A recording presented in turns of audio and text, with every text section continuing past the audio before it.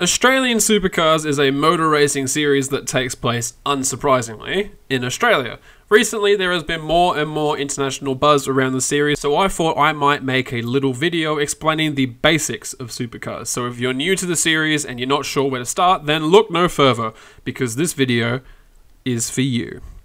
For this video, I will be covering the technical aspects of the cars, the race and qualifying formats, and where you can watch it. I will be making a separate video about the teams and drivers as well as the point system. So if you want to know how the Drivers' Championship or the Teams' Championship works, or which teams and drivers are front runners or back markers, then stay tuned because that video is coming soon.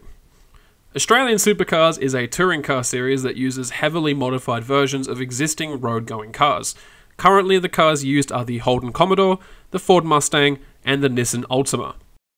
Any manufacturer is allowed to enter nowadays. In fact, only a few years ago we had Mercedes and Volvo included with these three other cars, however, they have since dropped out. Supercars is a semi spec series, with the vast majority of parts being spec parts either provided by supercars themselves or manufactured to strict guidelines by third party manufacturers. The chassis, cooling system, fuel, electronic systems, drivetrain, rear suspension, wheels, gearbox, and brakes are all spec parts. In the past, engines had to be V8s, hence why the series was called and still often is called by fans V8 supercars. Nowadays, though, engines can be turbocharged or naturally aspirated and can have any arrangement or number of cylinders, though they must be able to produce between 460 to 485 kilowatts of power. Despite these rules though, all engines used currently are naturally aspirated 5 litre V8 engines. The reason for the heavy regulations on power but not on the actual engine specifications is to encourage manufacturers to provide their own engines. There is a spec version that supercars may provide for you if you cannot provide your own engine.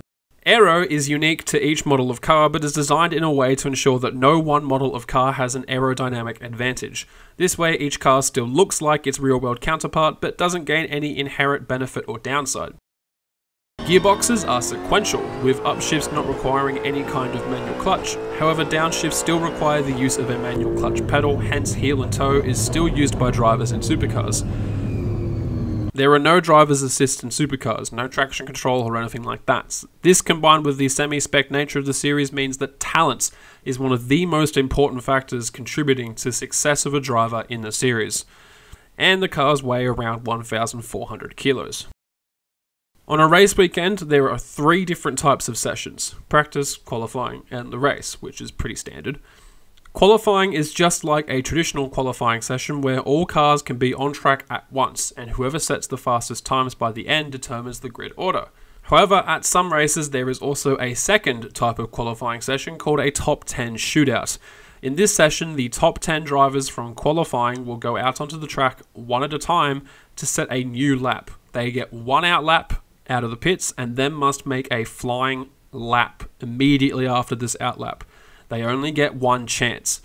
This lap is then recorded as the final order of the top 10 drivers, so a driver who qualified in 10th still has a chance to qualify first if they put in a good shootout performance.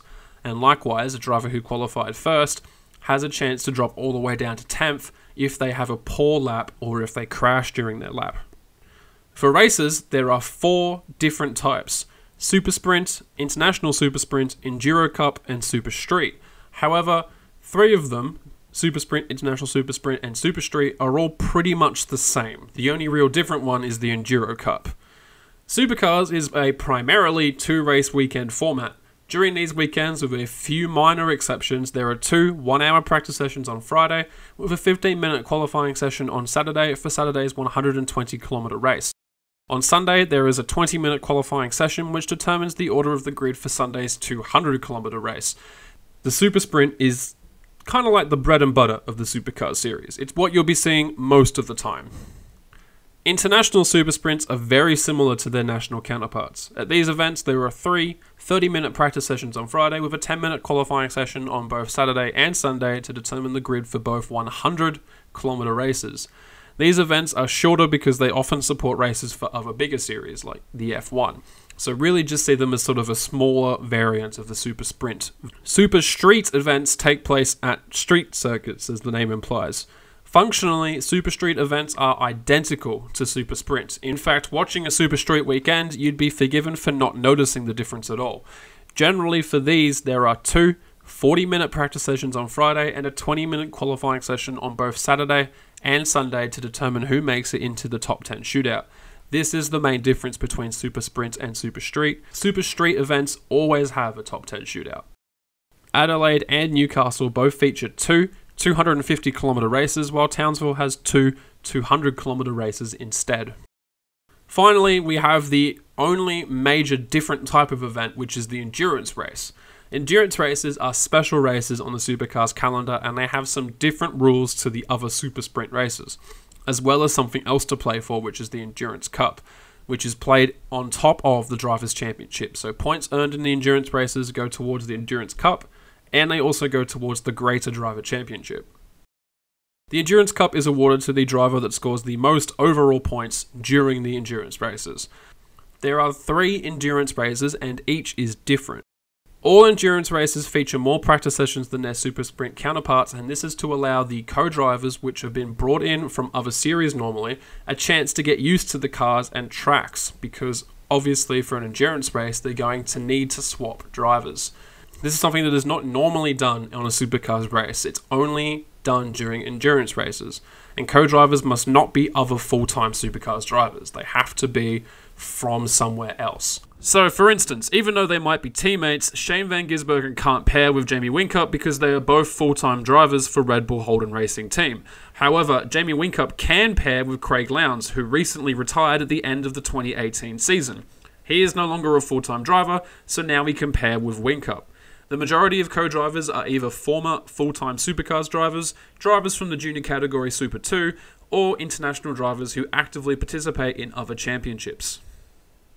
They all feature a traditional qualifying session, with Gold Coast and Bathurst having a top 10 shootout to determine the final order, while Sandown has a set of qualifying races, a feature that is unique to Sandown on the calendar and something I will probably go over in a different video closer to the actual event because it is kinda confusing. Sandown and Bathurst have one race on Sunday. Sandown 500 kilometers and Bathurst 1000 kilometers. The Gold Coast is 600 kilometers total, split between two 300 kilometer races on both Saturday and Sunday. Honestly, I have no idea why Supercars chooses to make the endurance races so needlessly complicated, but there you go. All you need to really remember is that each one is different, and there is three Sandown, Bathurst, and the Gold Coast. But what are they racing for? They're racing for points, of course. Whoever has the most at the end of the season wins the championship. There is also a separate teams championship too, although there isn't as much emphasis on this as there is in other motorsports. Rather than bore you with the details of the point system now, I will go over it in the next video, so if you want to know exactly how points are awarded, then make sure you subscribe so you can catch that one when it comes out. If you want to watch supercars in your country, you can by finding your country on this chart. Or you can use SuperView, a service run by Supercars that lets you stream every practice, qualifying, and race session online. It costs 60 bucks for one year and must be renewed every year, which is super cheap for what you get. It's like 5 bucks a month, which is a lot cheaper than having to go through pay TV. Plus Supercars gets all the money themselves, so none of that money going to greedy pay TV corporations. Although it is not available to Australians and New Zealanders, weirdly, due to contracting issues with Fox. There is also Super Archive, which lets you watch old races online for another 60 bucks a year.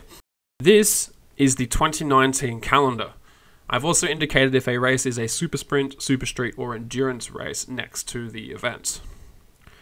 Notice here that the majority of races are super sprint races, with a total of seven, nine if you count international super sprint. This is what you will be seeing most weekends, and therefore is the one that you should be most familiar with. There's also a couple of Super Street rounds sprinkled throughout, and then Enduro Cup rounds are all together because drivers are also competing for the Enduro Cup, which is a separate trophy that can be won by the drivers only during the endurance rounds. That's why the Endurance Cup races are all together in the calendar. If you don't want to watch every race this year, but you just want to try a few to see if you like it, then I can suggest a few for you. First up is Adelaide. The season opener is always a fantastic event. Plus, it being a street circuit means that they run a slightly longer race at 250 kilometers instead of the usual 200 kilometers on both Saturday and Sunday.